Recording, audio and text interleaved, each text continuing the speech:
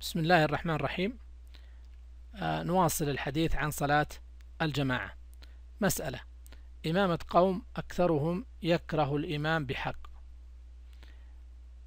آه الحكم في هذه الإمامة يكره أن يؤم آه القوم وهم يكرهونه بحق.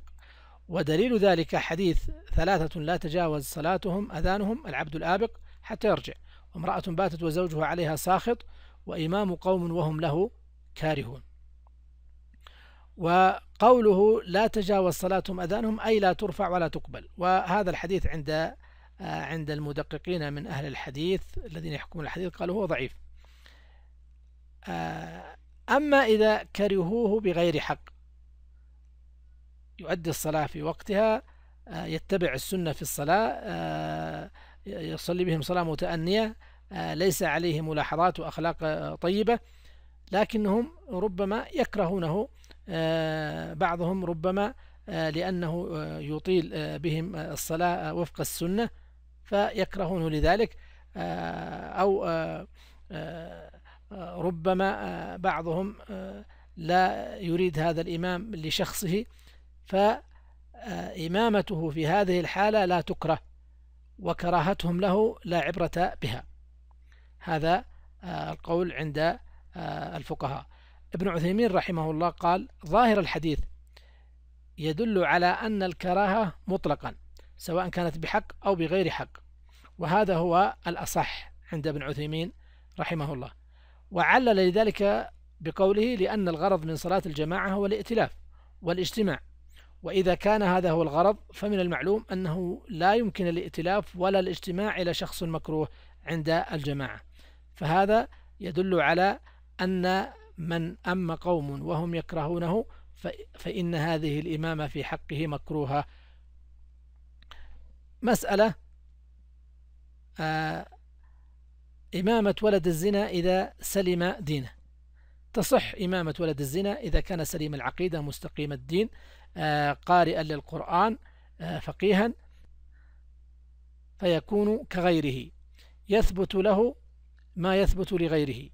لعموم قول النبي صلى الله عليه وسلم يؤم القوم أقرأهم لكتاب الله وهو قارئ لكتاب الله فيشمله هذا الحديث. إمامة من يؤدي الصلاة بمن يقضيها والعكس. تصح إمامة من يؤدي الصلاة بمن يقضيها. آه، في هذه الحالة الذي يؤدي الصلاة هو الإمام والمأموم يقضي الصلاة فالصلاة من الاثنين صحيحة مثال ذلك دخل رجل والناس يصلون صلاة الظهر. ثم ذكر أن عليه صلاة الظهر من اليوم الذي قبله ففي هذه الحالة يبدأ بالصلاة الفائتة فيدخل معهم وهو ينوي أنه يصلي صلاة الظهر من اليوم السابق وهم يصلون ظهر ذلك اليوم.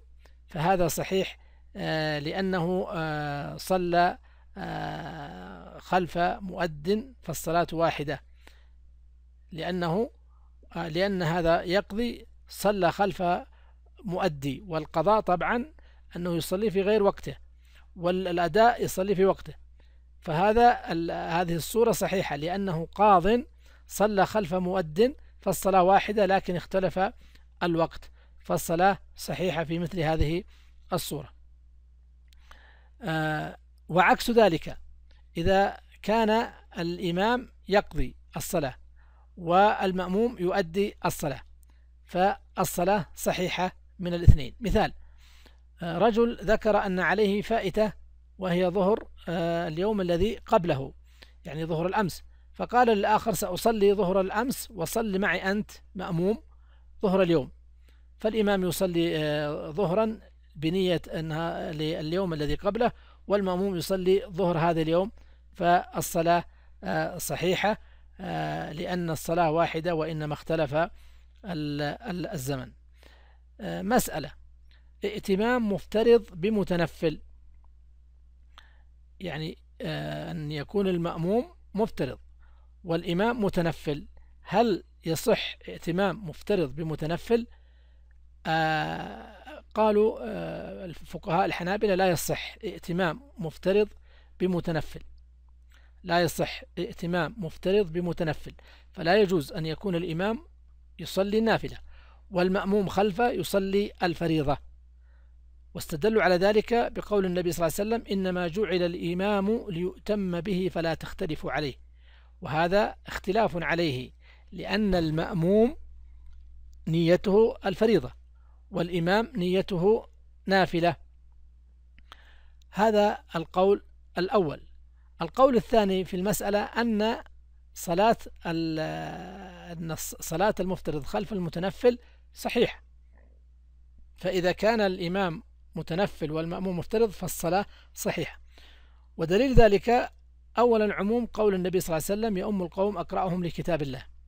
فلم يشترط النبي صلى الله عليه وسلم في الإمام إلا هذا الشرط أن يكون آه، قارئ لكتاب الله مجيد لتلاوة كتاب الله عز وجل وللأحكام الفقهية المتعلقة بالصلاة ونحو ذلك.